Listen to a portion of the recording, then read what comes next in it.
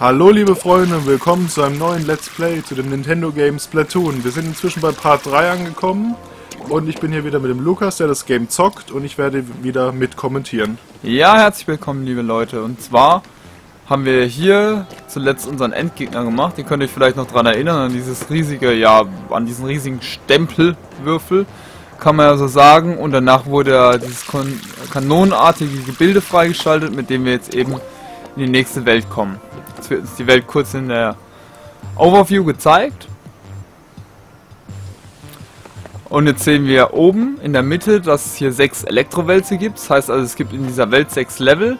Und die Level sind jetzt eben alle versteckt. Also ich muss hier erstmal die Map wieder einfärben, dass die Levels hier frei werden. So, erstes Level freigestellt. Ich würde sagen, wir suchen jetzt einfach mal schnell die sechs Level. Die teilweise wie ich auch etwas, ähm, also schon, man muss ein bisschen suchen, um die teilweise zu finden. Okay, und musst du die Levels da irgendwie nach der Reihenfolge finden oder spielt das keine Rolle? Nee, nee, in der Welt kannst du die Levels wirklich beliebig in der Reihenfolge spielen. Ich werde auch jetzt, also ich schalte jetzt hier alle sechs Levels direkt frei.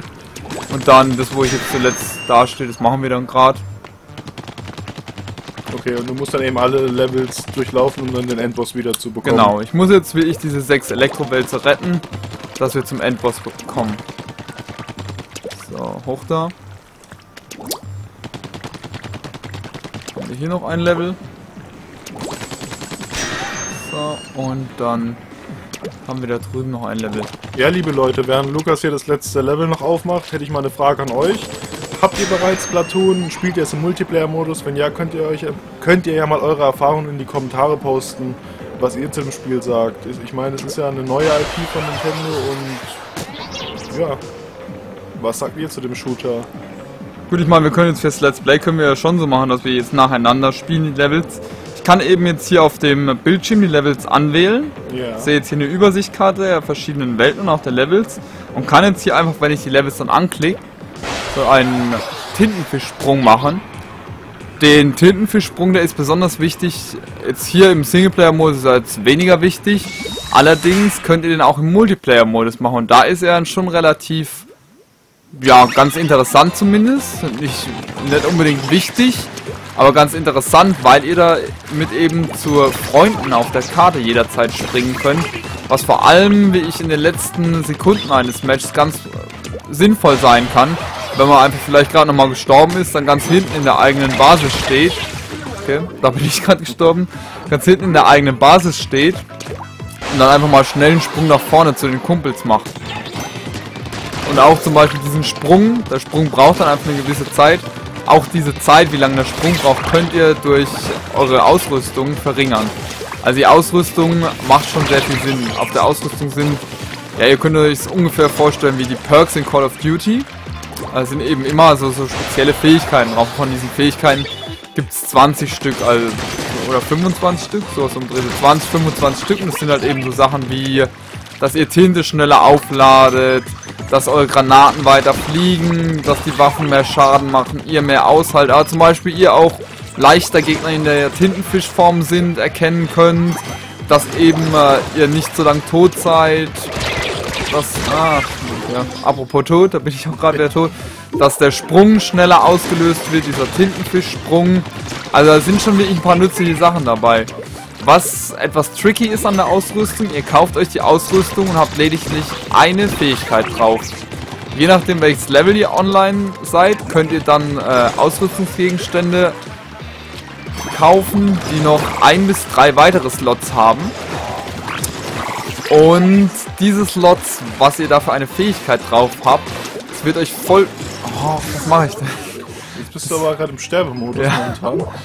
So, ich muss aufpassen, weil es wirklich auch der letzte Versuch. Ja, und diese Fähigkeiten, die ihr bekommt, die werden euch dann vollkommen zufällig zugelost.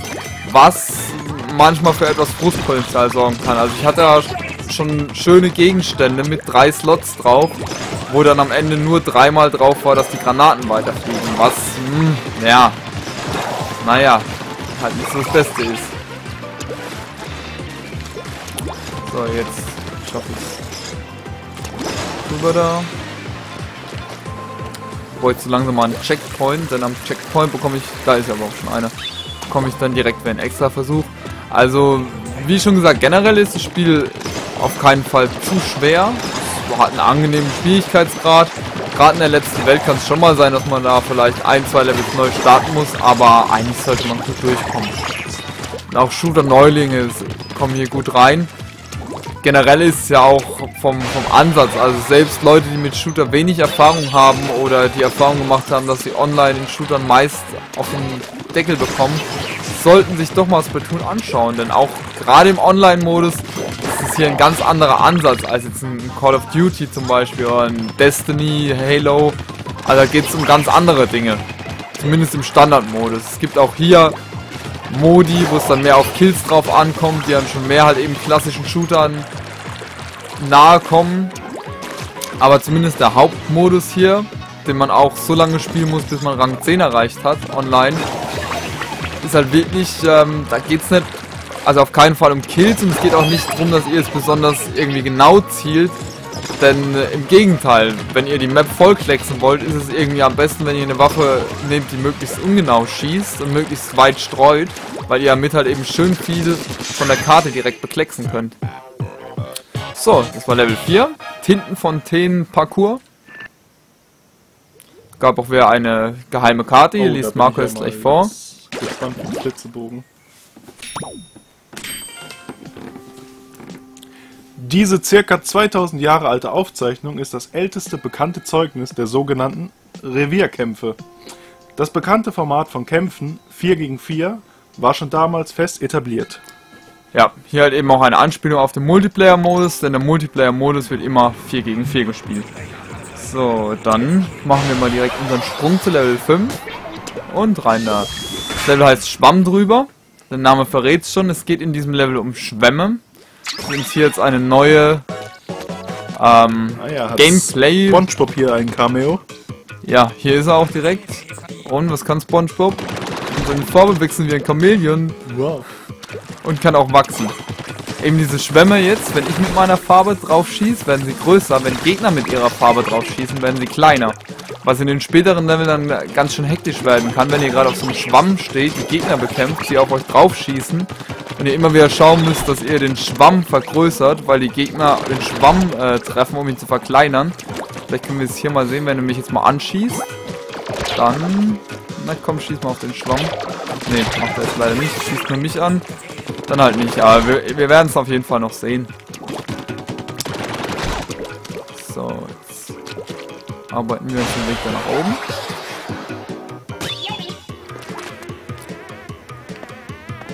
So, Digga, ich schaue mich immer nach hinten um, wenn ich so wo runterspringe, eben wegen den geheimen Karten. Ich habe jetzt nicht mehr alle geheimen Karten genau im Kopf, aber meist kann man sie auch relativ einfach finden. So, der Gegner hier, der könnte jetzt mal gegen den Schwamm rollen, dann wird der Schwamm kleiner. Was, Junge, mach mal. Jetzt, wenn ihr euch meine Tinte rollt. It, go for it. Na, nee, komm. Das war enttäuschend. Ja, wir gehen weiter. Wir werden es später noch sehen. Macht euch keine Sorgen. So, immer schön die Kugel einsammeln. Wir brauchen das 500 für unser Waffenupdate. Hier kommt auch der Hinweis von unserem Captain, den ich Motto synchronisieren darf, dass eben die äh, Schwämme wieder sinken, wenn Gegner darauf kommen. Ja, aber wie gesagt, bisher hatten wir ja noch kaum die Möglichkeit, dass Gegner da irgendwie den Schwamm mal beschossen hätten. So. Wieder alles schön einfärben. Die Wand hochkommen. Hier sehen wir es vielleicht, wenn die Jungs mal drauf schießen. Ja, oh, dann ja. treffen sie es und der Schwamm wird kleiner. Na, dann bin ich runtergefallen. Geschafft. Rüber da. Und dann haben wir hier auch schon das nächste Jump Pad. So, hier müssen wir jetzt auch aufpassen, weil das ist jetzt eine von den Szenen, die ich jetzt schon beschrieben habe. Wir müssen jetzt hier auf der einen Seite auf dem Schwamm kämpfen. Wir müssen da immer darauf achten, dass wir sowohl die Gegner abschießen, als auch immer mal wieder auf den Schwamm schießen, weil es sonst einfach sein kann, dass uns unter den Füßen unser Schwamm wegbricht, wenn die Gegner dauernd auf den Schwamm draufschießen. Und hier können wir jetzt wieder eine Kanone einsteigen. Machen wir natürlich auch, wenn es uns hier schon so einfach gemacht wird. Hier mal schnell alles mit der Kanone. abschießen. Wir sind ja auch schon am Ende des Levels angelangt, leider. Uns fehlt noch der Elektrobelz. Ja, leider habe ich die geheime Karte hier jetzt nicht gefunden. Ah, das... Hm. Ich sehe jetzt auch hier keine Möglichkeit, wo sie noch versteckt sein könnte. Ähm, ja, Leute. Entschuldigung, Leute, es tut mir jetzt leid. Gibt es halt in dem Level keine Karte. Mist, dann habe ich ja gar nichts zum Vorlesen. So, aber es gibt zumindest eine Elektrowelt. So, ich würde sagen, Level 6 nehmen wir noch mit in diesen Let's Play Part rein. Definitiv. Reicht uns von der Zeit noch. Ja, die Karten sind wirklich nur für diese Story-Hinweise da. Also durch die Karten allein tut ihr auch... So, Marco, du kannst was von Captain Kuttelfisch vorlesen. Berühre das Gamepad und ich habe meinen Text vergessen. Es tut mir leid.